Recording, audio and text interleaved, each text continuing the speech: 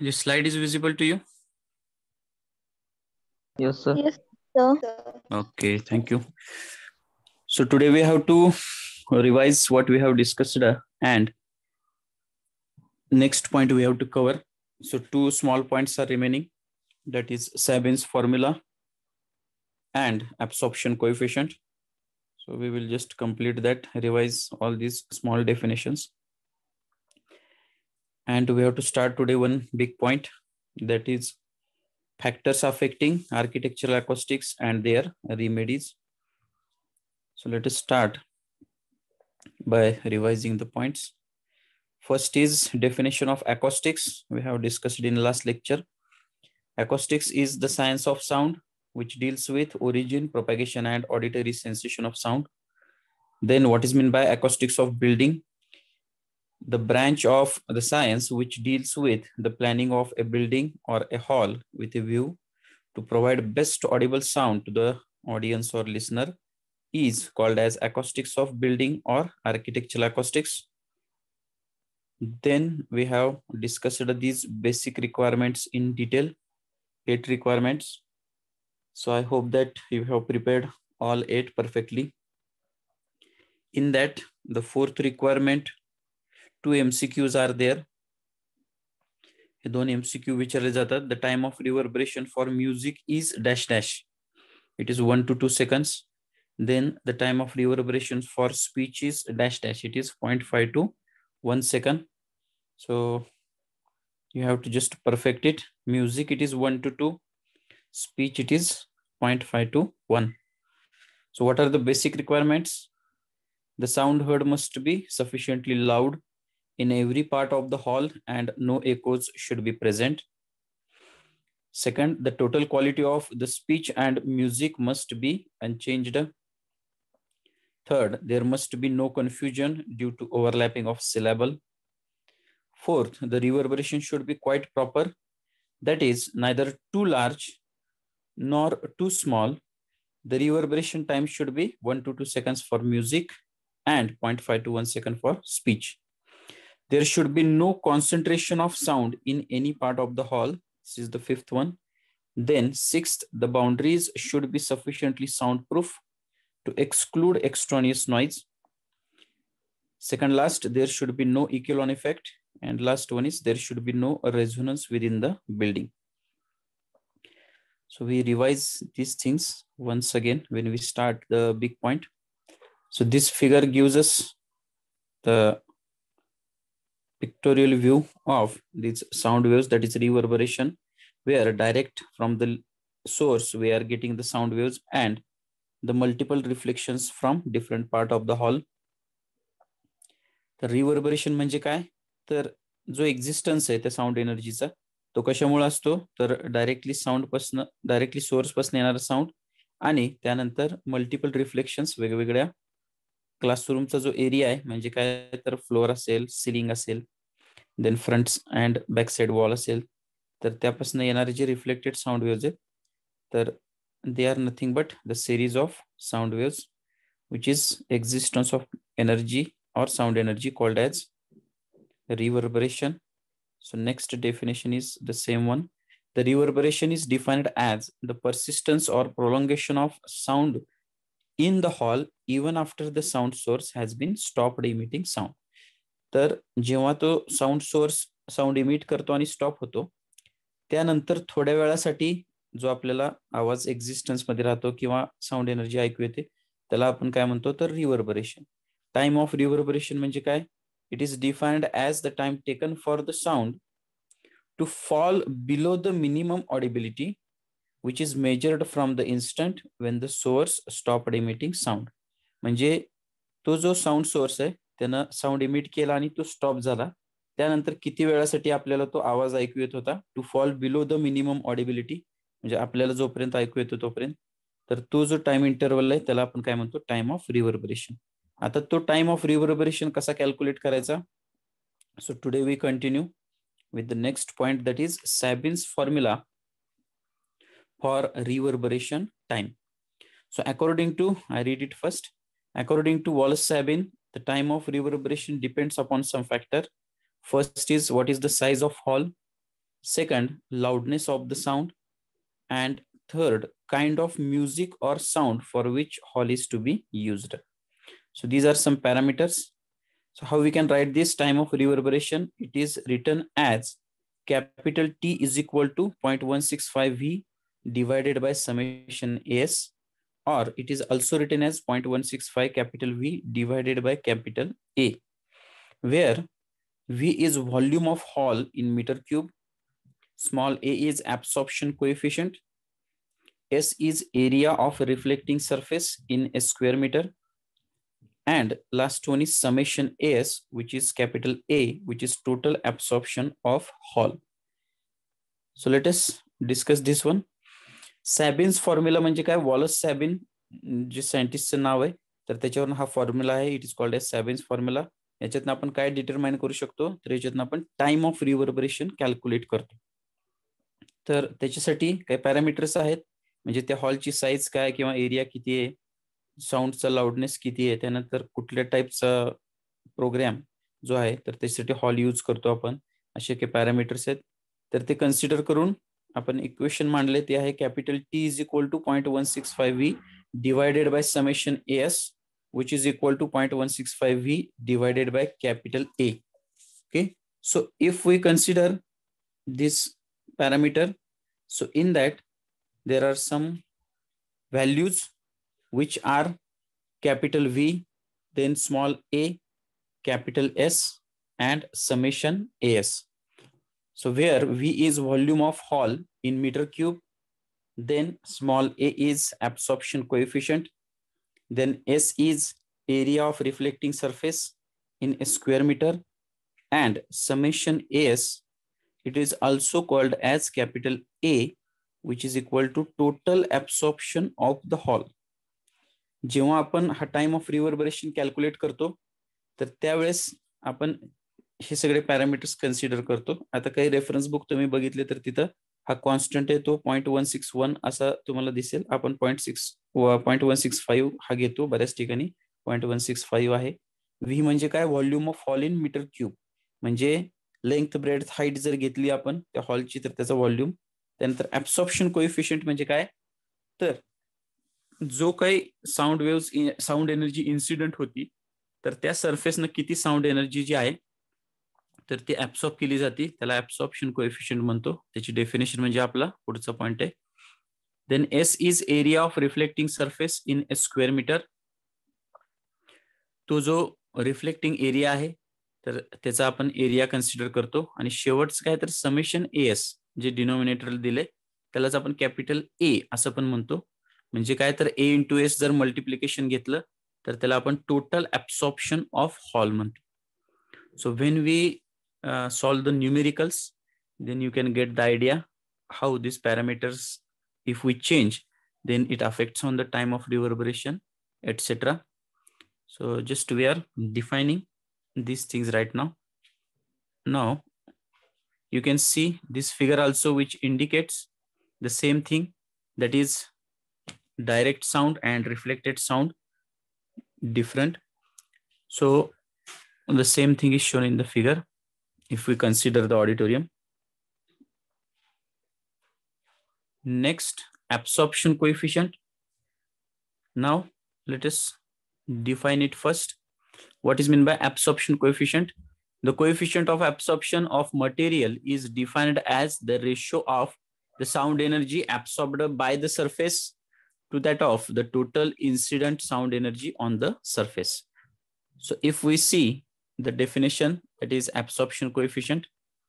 So it is sound energy absorbed by the surface divided by total sound energy incident on the surface म्हणजे जो काही sound आहे तर ती जी sound energy त्या सरफेसवर इन्सिडेंट होती टोटल साऊंड एनर्जी तर ती आपण लिहितो डिनॉमिनेटरला आणि नेक्स्ट जो आहे तर न्युमिरेटरला काय येते तर ती जी साऊंड एनर्जी इन्सिडेंट होते त्या सरफेसवर तर त्यातली किती ऍब्सॉर्ब केली जाते that sound energy absorb by the surface so by using certain instruments and certain calculation we can calculate this absorption coefficient. Now, what is the unit of this absorption coefficient? So it is defined in terms of open window unit or Sabin. आता हा काय प्रकारे आपण check करू As all sound waves falling on an open window pass through easily, it can be assumed that an open window behaves as perfect absorber of sound. And hence, the standard of absorption is taken as the unit area of an open window as a standard unit of absorption. The absorption coefficient is measured in open window unit and it is written as open window unit or 7. तर याचा अर्थ काय ते आपण बघू की जर आपण एक ओपन विंडो म्हणजे नुसती फ्रेम कन्सिडर केली ज्याच्यात काच नाहीये तर जर साऊंड एनर्जी त्याच्यातनं पास झाली तर ती इझिली काय होणार आहे? तर पास होऊन जाणार आहे. कारण का आपण जर विचार केला कशाचा तर परफेक्ट ऍब्सॉर्बर ऑफ साऊंड तर असं नेचरमध्ये कुठलं मटेरियलच नाही की जे हंड्रेड पर्सेंट ऍब्सॉर्बर आहे. Okay so for that we are considering this imaginary thing that is open window unit म्हणजे ऍक्च्युली त्याच्यात कुठलंच मटेरियल नाहीये पण हंड्रेड पर्सेंट ऍब्सॉर्प्शनसाठी आपण ओपन विंडो युनिट हे युनिट कन्सिडर करतो. तर एक फ्रेम कन्सिडर केली आपण तर जी काय साऊंड एनर्जी इन्सिडेंट म्हणणार नाही आपण जी काय साऊंड एनर्जी त्या फ्रेममधनं पास होईल तर ती ऍज इट इज पुढे जाणार. आणि आपण त्याला आयडियली हंड्रेड पर्सेंट ऍब्सॉर्बर असं कन्सिडर करतो. Now if we insert the glass or plywood or any other material then what happens that material absorbs the sound and remaining gets reflected by that material. For example, curtain is there or painted wall is there or glass window is there or plywood material is there or polished wood wooden reflecting surfaces are there. So lots of different materials depends upon that we are determining this value and this ratio from that we can get the value so if we consider here then this value uh, so i can ask this question to you. जर आपण असं consider केलं की hundred percent absorber म्हटलं तर open window unit जे आहे त्याची व्हॅल्यू काय येणार? तर ऍब्सॉर्प्शन कोएफिशियंटची व्हॅल्यू काय येणार? वन येणार. बरोबर आहे का? म्हणजे काय? Sound energy absorbed by the surface hundred percent divided by sound energy incident on the surface 100%. So if we consider as a sound energy incident on the surface 100%, absorption also 100%, so it is simply 1. Now if we insert the material, then sound energy absorbed is not 100%. It is 90, 80, 70, 60, etc. So always if we calculate, so this absorption coefficient is less than 1 always. So keep in mind this thing. This is your possible MCQ value तर थोडक्यात absorption coefficient म्हणजे असा ratio की जो decide करतो की किती sound energy absorb केली गेलेली आहे त्या सरफेसनं and that value we are using in this equation that is one of the value absorption coefficient small a. Okay so is it clear to you? Yes yes sir. yes sir. okay so now we are starting the next point that is factors affecting the architectural acoustics and their remedy. So this is a descriptive point big point So before starting this, I just want to revise this point once again. That is basic requirements. ठीक आहे? तर या basic requirements आहेत. तर त्या परत एकदा आपण काय करतोय? तर रिवाइज करतोय. त्याचं कारण म्हणजे तो जो मोठा पॉईंट आहे तो ह्याला डायरेक्टली कनेक्टेड आहे. पहिली रिक्वायरमेंट काय? तर जो काय आवाज आहे तर तो लाऊड आणि क्लिअर पाहिजे. हॉलच्या प्रत्येक पार्टमध्ये आणि एकोच जनरेट नाही झाले पाहिजेत. त्यानंतर दुसरा आहे तो म्हणजे त्या साऊंडची त्या म्युझिकची क्वालिटी जी आहे तर ती ॲज इट इज राहिली पाहिजे. नेक्स्ट तिथं जो साऊंड वेव्ज आहेत त्याचं ओव्हरलॅपिंग होऊन जे सिलेबल तयार होतात त्याचे ओव्हरलॅपिंग होऊन आपल्याला कन्फ्युजिंग साऊंड नाही आला पाहिजे. नेक्स्ट रिव्हर्बरेशन टाइम आहे तो जास्त नकोय आणि कमीही नकोय. आता आपण हे सगळं डिस्कस करणार आहोत की जर जास्त असेल तर काय होतं? जर कमी असेल तर काय होतं? आणि त्याची ऑप्टिमम व्हॅल्यू जी आहे तर किती पाहिजे तर म्युझिकसाठी आहे वन टू टू सेकंड आणि स्पीचसाठी आहे point five to one second next requirement काय सांगते? तर कुठल्याही एका कोपऱ्यात किंवा एरियात साऊंड एनर्जी कॉन्सन्ट्रेट नाही झाली पाहिजे. There should be no concentration of sound in any part of the hall next काय? तर बाउंड्री ज्या आहेत हॉलच्या ते सफिशियंटली साऊंड प्रूफ पाहिजेत कशासाठी? तर बाहेरून येणारा जो नॉईज आहे गोंगाट आहे तर तो आपल्याला अडवता येईल थांबवता येईल किंवा अवॉइड करता येईल स्टॉप करता येईल. Next there should be no echelon effect echelon effect म्हणजे मी तुम्हाला सांगितलेलं की सेरीज ऑफ एकोज म्हणजे पिलर्स असतील स्टेप्स असतील किंवा कुठले रेग्युलर स्ट्रक्चर की ज्याच्यामध्ये सेम पॅटर्न आहे आणि गॅप आहे सेम तर त्यामुळे काय होतं? मल्टिपल रिफ्लेक्शन्समुळे हा इकोलॉन इफेक्ट तयार होतो. Last there should be no resonance within the building original आणि रिफ्लेक्टेड साऊंड आहे. तर तो जिथं इंटरफिअर होतो तिथं रेझोनन्स तयार होऊन तेवढ्या एरियामध्ये डिस्टॉर्टेड साऊंड आपल्याला ऐकू येतो तर त्यामुळं आपल्याला हा रेझोनन्स तयार होतो तो झाला नाही पाहिजे okay so I give you two minutes you just uh, read these things once again and then we will start our next point so i give you two minutes on the screen also it is there or if you have written in your own handwriting you can read that take two minutes and we will start discussing the next point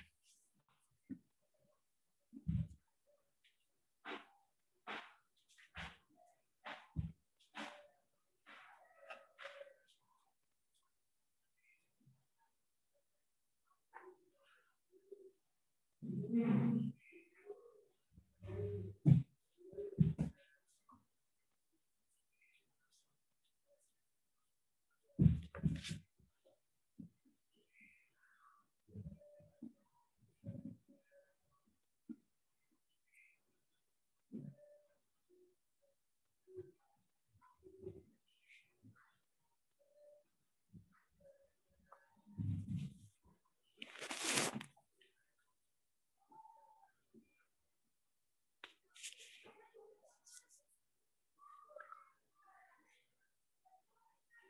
So last time also purposefully, I have given you the time to prepare these things. Because when we are discussing the descriptive point, so if points are more and if we don't know the concept or meaning, so unnecessarily we feel it is difficult.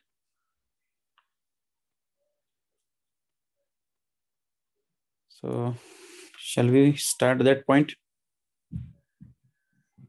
Yes, sir. Yes, sir. Yes, sir. Okay. Yes, sir. So now we start that one.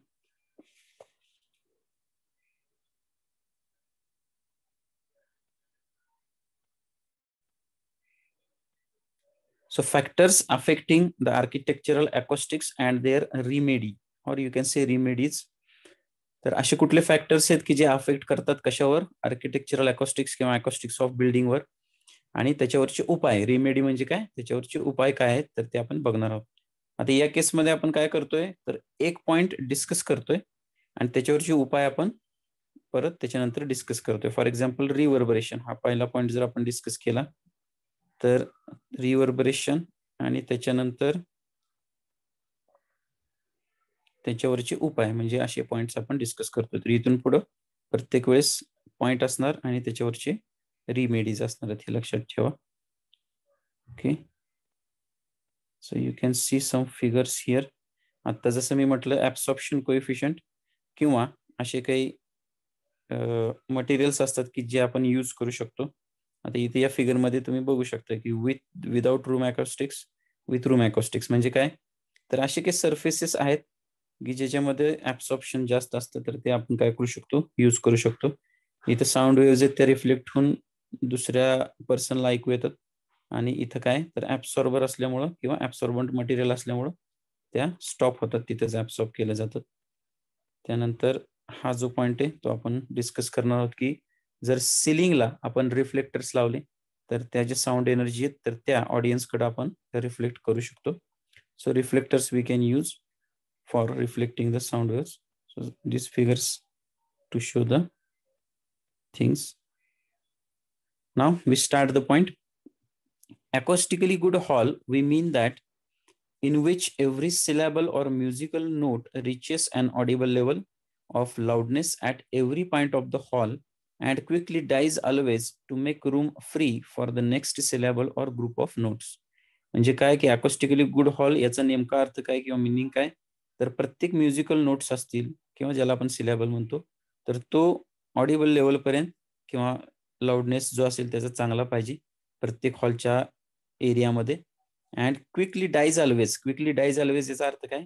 की लगेच तो तिथं थांबला पाहिजे आणि ती जी room आहे तर ती फ्री झाली पाहिजे कशासाठी? तर नेक्स्ट म्युझिकल नोट्स किंवा नेक्स्ट सिलेबलसाठी क्विकली डाईज याचा अर्थ काय? की जर तुम्ही तिथलं रिफ्लेक्शन आणि ऍब्सॉर्प्शन हे ऍडजस्ट केलं तर तुम्हाला चांगले रिझल्ट मिळतात. रिफ्लेक्शन जर जास्त असतील तर काय होतं? आणि ऍब्सॉर्प्शन जर जास्त असेल तर काय होतं? ते आता आपण चेक करूया. तर हे जेव्हा मी डिस्कस करेन तर आपल्या ज्या आठ रिक्वायरमेंट्स आहेत त्याला पण मी लिंक करत जाईन किंवा त्याचा रेफरन्स देईन. So following factors affect the architecture acoustics तर तुम्ही हेडिंग देऊन फक्त डायरेक्ट फॉलोइंग फॅक्टर्सपासून लिहिलं तरी चालेल. हे इंट्रोडक्शन लिहायची गरज नाही. First point is reverberation. So I read it first. In a hall, if the reverberation is large, there is overlapping of successive sound, which results in loss of clarity in hearing. However, if the reverberation is very small, so S is missing, is very small, the loudness is inadequate.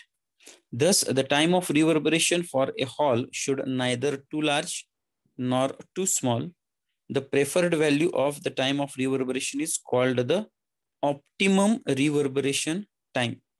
Okay? So if i ask you the question that this reverberation of for a hall should neither too large nor too small. So it is related to which requirement?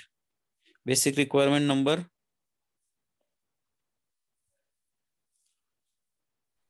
Basic requirement number 4 is it correct Yes, sir. Yes, Yes. sir. Yes, reverberation should be quite proper. It is neither too large nor too small and music speech values. ठीक आहे.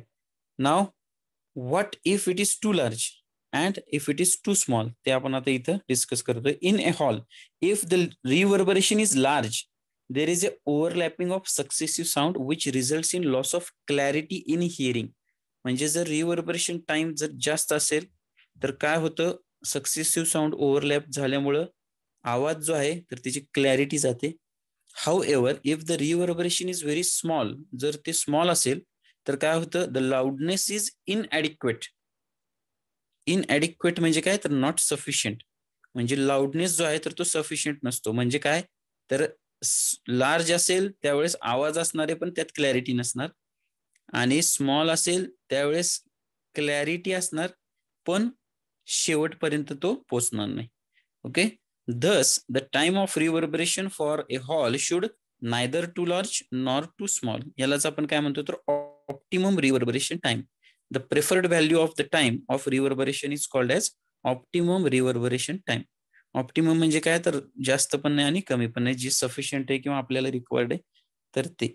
मग आता हे कसं adjust करायचं किंवा कसं manage करायचं? तर त्याच्यासाठी काही रिमेडीज आहेत.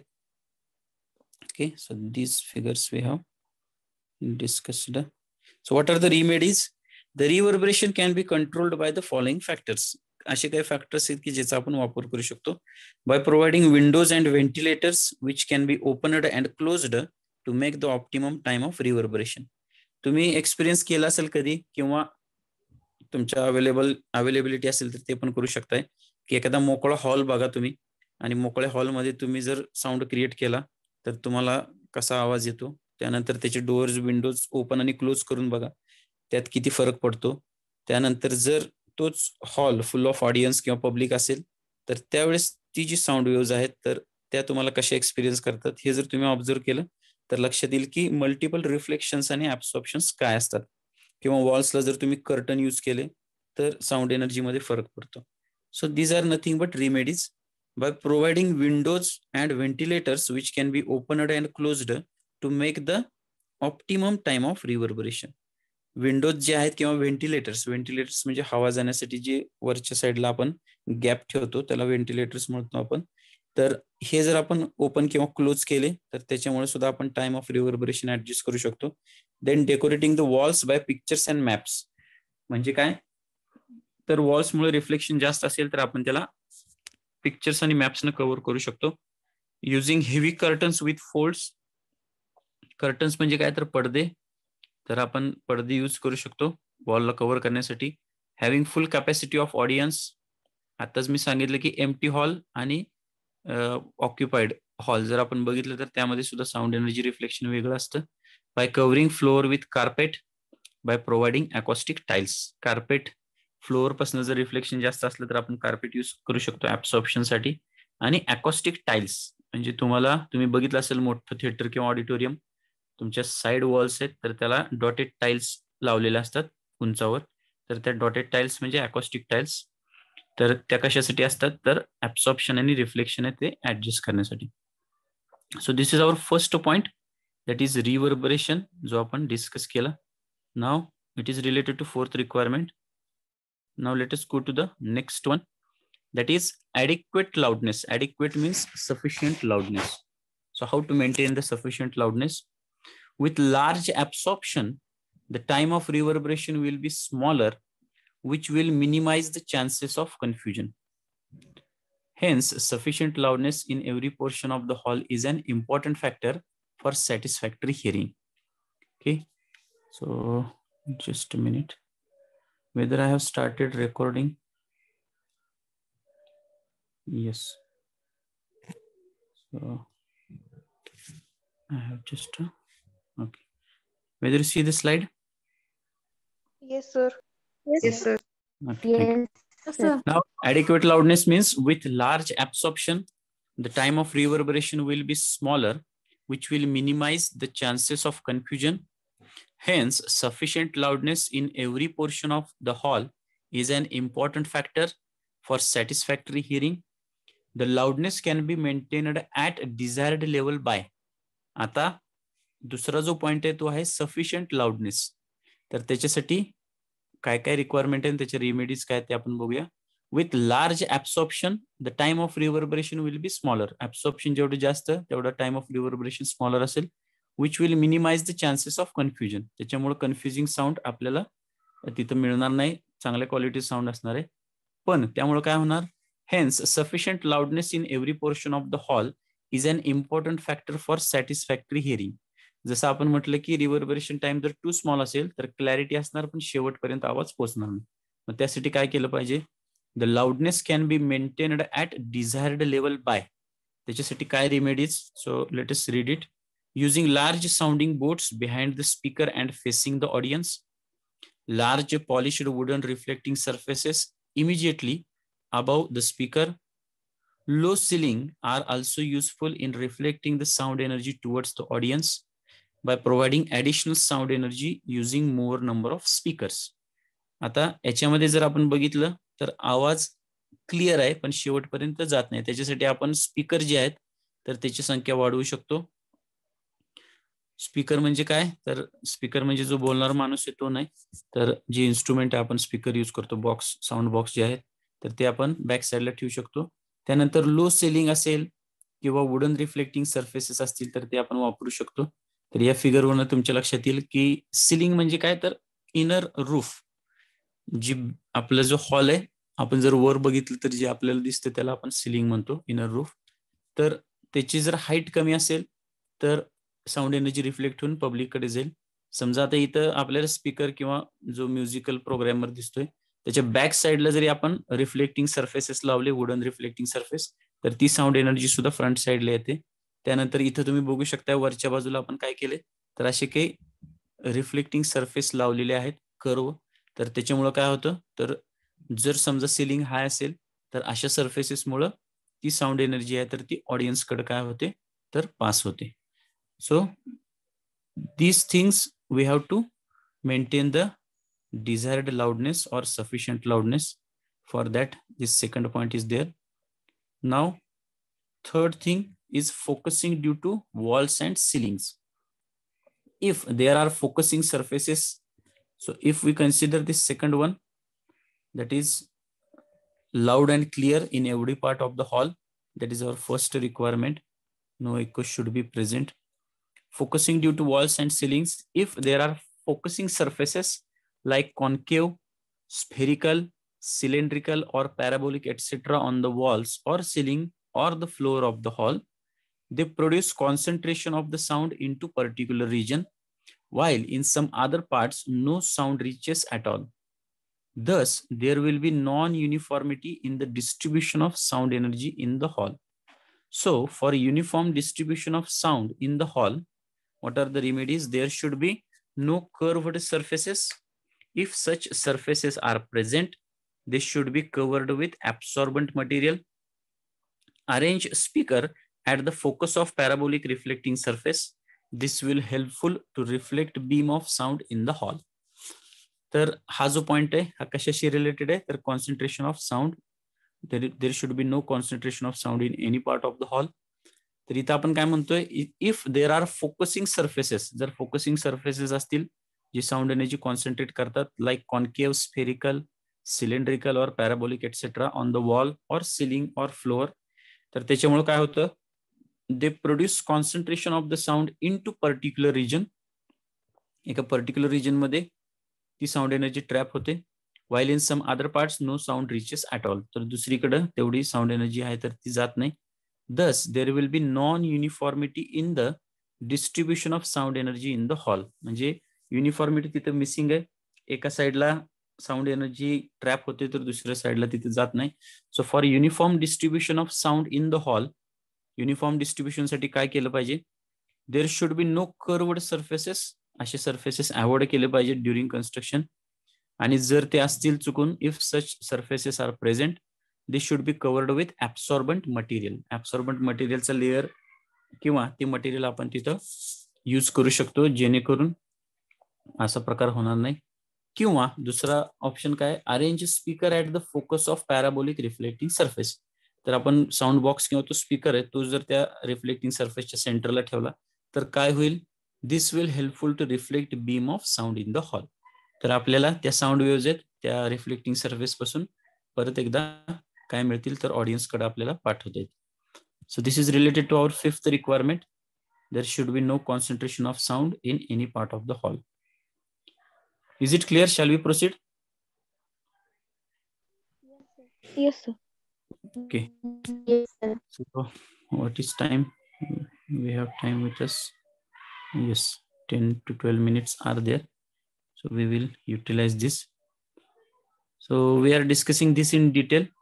And the next lecture, once again, I revise these things. So today I am at home. So I have some restrictions of drawing, etc. So next lecture, once again, we revise in short. Next point is echoes. So what is meant by echo? An echo is heard when original and reflected sound waves coming from the same source reach the listener with time interval of about 110 second. It should be avoided as far as possible by absorption. Echoes can be avoided by. आता echoes म्हणजे काय? तर प्रतिध्वनी. ते कसे generate होतात? तर original आणि रिफ्लेक्टेड साऊंड वेव्ह आहेत. तर त्या सोर्सला जर वन टेन सेकंडमध्ये आपल्याला मिळाल्या किंवा त्याचे काय कंडिशन्स आहेत तुम्हाला माहिती डिस्टंट वॉल्स असतील किंवा एका पर्टिक्युलर टाइम नंतर आपल्याला जर ते रिफ्लेक्शन्स येत असतील तर एकोज जनरेट होतात. So it should be avoided as far as possible by absorption तर ज्याच्यामुळे एकोच जनरेट होतात तिथे जर आपण ऍब्सॉप्शन मटेरियल लावलं किंवा असं काहीतरी केलं की ज्यामुळे ऍब्सॉप्शन होईल त्याचं so we can avoid that echoes so echoes can be avoided by what are the remedies covering long distance walls with curtains or absorbent materials covering high ceiling with absorbent material so we know that seventeen metre is the standard distance from where we can get the echoes तर त्या हॉलमध्ये किंवा त्या theatre किंवा ऑडिटोरियममध्ये जर समोरची भिंत ही ती कंडिशन सॅटिस्फाय करत असतील तर आपल्याला एकोच जनरेट होणार. तर तिथं आपण कर्टन्स किंवा ऍब्सॉर्बंट मटेरियल यूज करू शकतो. एकोज प्रोड्यूस होऊ नये म्हणून. किंवा हाय सिलिंग म्हणजे काय जर हाईट जास्त असेल त्या हॉलची तर त्याच्यामुळे सुद्धा एकोज जनरेट होतात. So we can use absorbent material to the inner surface of the ceiling or that wall upper wall next is echelon effect तर मी जसं सांगितलं की इकोलॉन इफेक्ट म्हणजे काय? तर सेरीज ऑफ एकोज तर पिलर्स असतील किंवा स्टेप्स असतील तर ज्याच्यामुळे मल्टिपल रिफ्लेक्शन होऊन आपल्याला काय मिळतं? Series of successive sound waves which is nothing but called as echelon effect so it is related to our seventh basic requirement a set of pillars or any regular spacing of reflected surfaces may produce a musical note due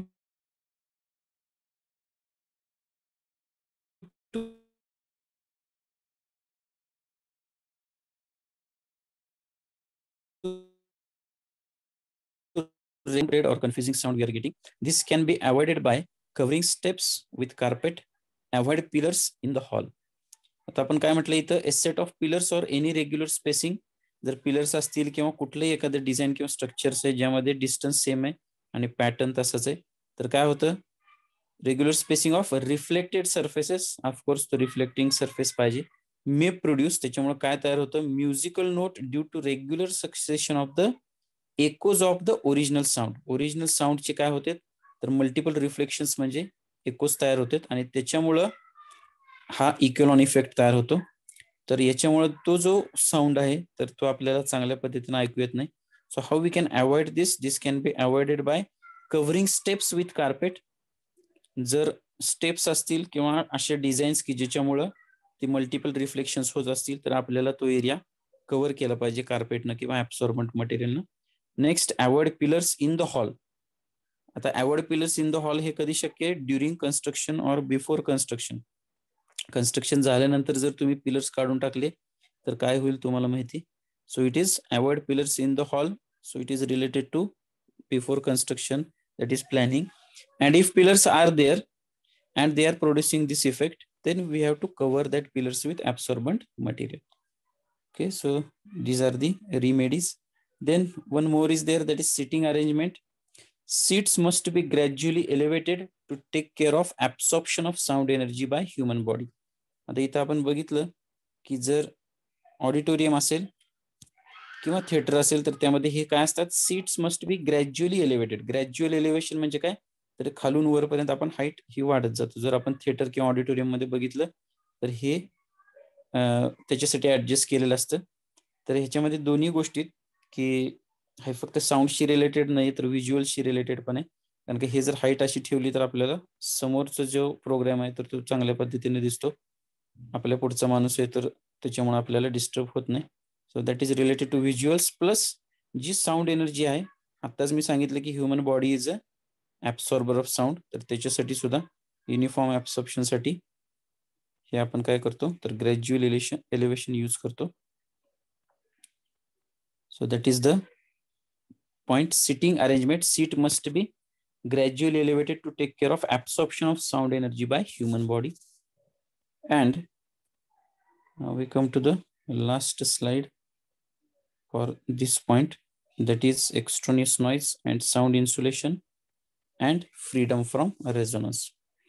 Next, in a good hall, no noise should reach from outside Noise may be defined as unwanted sound such as outside noise, street traffic, hammering, drilling, operating machinery, moving of furniture, electrical generator, etc.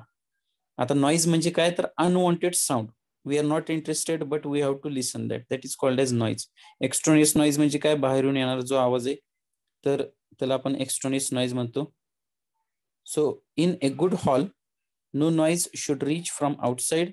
Noise may be defined as unwanted sound आता unwanted sound बाहेरचे म्हणजे कुठे समजा आपला hall किंवा classroom किंवा कुठलं आता तुम्ही समजा जिथं बसून हे लेक्चर ऐकतायत तर तिथे सुद्धा आजूबाजूला जर काही अशा गोष्टी असतील तर त्या तुम्हाला डिस्टर्ब करू शकतात किंवा आवाज येऊ शकतात स्ट्रीट ट्रॅफिक असेल म्हणजे रोड साईडला आपलं घर किंवा तो हॉल थिएटर असेल तर then hammering then drilling operating machinery म्हणजे कन्स्ट्रक्शन साईट असेल तर moving of furniture electrical generator असेल तर so these are creating noises this extraneous noise can be avoided by याला आपण कसं अवॉइड करू शकतो so avoiding openings for pipes and ventilators first one then allotting suitable locations for doors and windows then using heavy glasses to doors and windows insulating machines like refrigerators lifts typewriters projector etc constructing small soundproof cabin for machine and office staff. तर outside noise असतो तसं inside noise पण असतो. जर हॉलच्या आत काही activity चालत असेल तर. तर याच्या रेमेडीज काय आहेत? तर avoiding openings for pipes and ventilators तर अशा ठिकाणी जिथं आपल्याला साऊंड प्रूफ केबिन किंवा प्रोग्रॅमसाठी पाहिजे तर तुम्ही बघू शकता की व्हेंटिलेटर्स म्हणजे जे वरचे जे गॅप्स असतात ते अशा ठिकाणी नसतात तिथं आपण एक्झॉस्ट फॅन वगैरे यूज करतो. So ventilators we have to avoid pipes openings for pipes म्हणजे काय की पाईप वगैरे जाण्यासाठी जे कन्स्ट्रक्शन आपण करताना जागा सोडतो गॅप सोडतो तर ते नसायला पाहिजे. Then allotting suitable locations for doors and windows म्हणजे तुमचे दरवाजे आणि खिडक्या याची पोझिशन काय आहे तर त्याच्यावर सुद्धा हा एक्स्ट्रॉनिक्स नॉईज आहे तर तो डिपेंडंट आहे. Additionally we have to use the good quality glasses or materials to doors and windows म्हणजे हेवी ग्लासेस जर तुम्ही यूज केला डोअर्स विंडोजला तर ते अजून चांगल्या पद्धतीनं आपल्याला स्टॉप करता येईल. इन्सुलेटिंग मशीन्स म्हणजे रेफ्रिजरेटर्स असतील आतल्या बाजूला लिफ्ट आहे बिल्डिंगच्या मध्ये.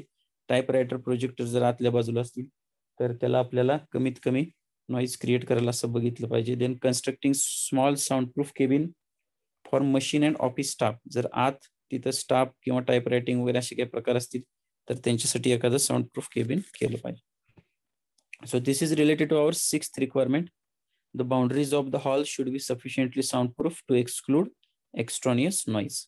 And the last one is freedom from resonance. So due to the interference between original sound and reflected sound, that is created sound, the original sound is distorted. Thus, the intensity of the notes is entirely different from the original one. This can be avoided by using absorbing material on reflecting surface. तर याची remedies ह्याच्यातच दिलेली. तर मी जर सांगितलं की original sound आणि reflected sound याच्यामुळे काय होतं? तर रेझोनन्स तयार होतो. तर जिथं तो रेझोनन्स तयार होतो इंटरफिअर झाल्यामुळे तो पर्टिक्युलर पोर्शन आहे तर तिथला साऊंड डिस्टॉर्ट होतो. डिस्टॉर्ट म्हणजे काय? तर जी काही साऊंड एनर्जी आपल्याला ऐकू आली पाहिजे तर ती तिथं येत नाही. Thus the intensity of the note is entirely different from the original one जे ओरिजिनल साऊंड आहे त्याच्यापेक्षा आपल्याला वेगळंच काहीतरी ऐकू येतो. This can be avoided by using absorbing material on reflecting surfaces तर असे जे रिफ्लेक्टिंग सर्फेस आहेत तर त्याला आपण काय केलं पाहिजे? तर ऍब्सॉर्बंट मटेरियल यूज केलं पाहिजे. So this is the last point and we have covered our first part of the third chapter that is acoustics.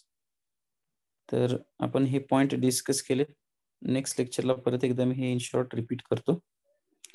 काय आपण डिस्कस केलं? तर factors affecting the architecture acoustics and their remedies याच्यामध्ये पहिला point बघितला reverberation आणि त्याच्या remedies त्यानंतर सफिशियंट लाऊडनेस पाहिजे असेल तर काय केलं पाहिजे?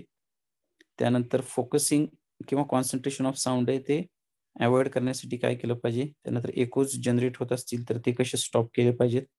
इकेलॉन इफेक्ट म्हणजे सिरीज ऑफ एकोज किंवा series of regular succession of sound तर याच्यासाठी आपण काय करू शकतो? सिटिंग अरेंजमेंट कशी पाहिजे? त्यानंतर जो आउटसाइड नॉईज आहे एक्स्ट्रॉनियस नॉईज त्याला आपण कसं अवॉइड करू शकतो? आणि last one is freedom from resonance so I hope that you got the points what we have discussed next lecture we will take a revision of this and we start our next part that is ultrasonic. Okay so let's check the attendance today.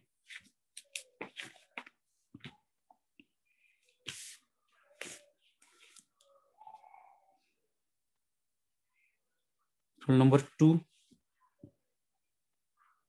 Rule number two absented त्यानंतर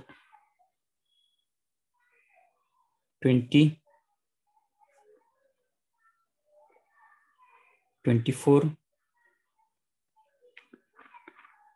then next 34 41 45 48 58 58 you are present yashpal Yes, sir. uh, and uh, who is there? Remaining it is there. Okay so 228 24 sorry 220 24 34 41 45 48 are the absent so before closing the things uh, our unit test is on which date physics i think 28 Yes, sir. 28. Sir, 20. okay so today or today or tomorrow i will hello today or tomorrow I will send you that uh, MCQ sheet with answers. Okay. Yes. And uh, this third chapter notes also. And uh, the, the instruction is related to C3 batch. For C3 batch, those who are remaining to fill the scholarship form. So you can fill the Hello. scholarship form. Hello. So you are not audible clearly. So those whose scholarship form is remaining within two or three days, you complete the procedure. If from your side, if no problem is there, then complete that and send me the print of scholarship form. If any genuine problem is there, then you drop me the message on WhatsApp. Okay, I will communicate you. Is it okay? Yes, sir.